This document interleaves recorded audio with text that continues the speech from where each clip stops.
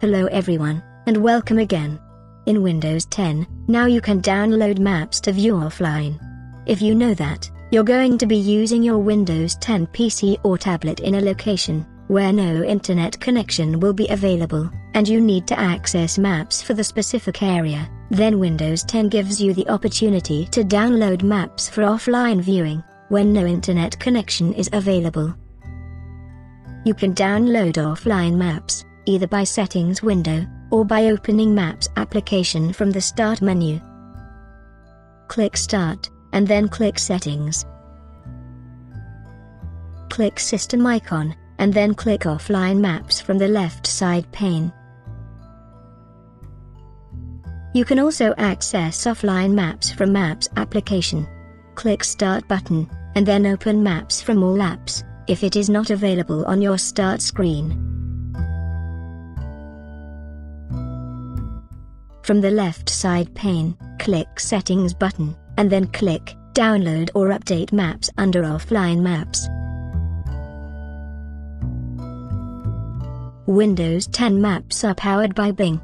Google Maps only allows you to download 50 by 50 kilometer area of a map on your Android device, where in Windows Maps, you can download the map of an entire country.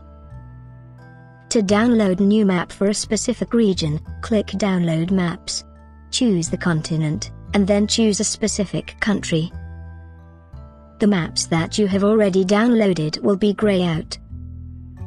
You can either download all the region's map of specific country, or you can further explore to download the map of a particular state or city. Once you choose a region, downloading will start immediately, you may require closing any Maps application, if it is running in the background to begin downloading. The metered connections is off my default, as it is a good idea to download maps when you're connected to wireless network, or unlimited data connection. Automatically update maps is also turned on by default, so if any map is updated on Bing server, then it will automatically get updated on your device as well. Below, it will display the status of the last update. You can delete a single, or all maps right from this window. Now, whenever you require viewing a map without any internet access, then you don't need to do anything.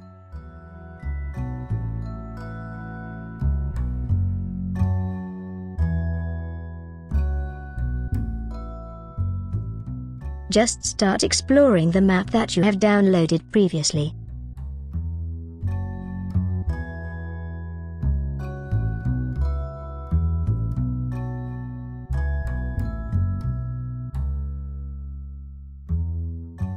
If you like this video, then don't forget to leave a comment, share this video with your friends, and hit thumbs up. Do subscribe to our channel, as there are a lot more videos to come. Take care and have a good day.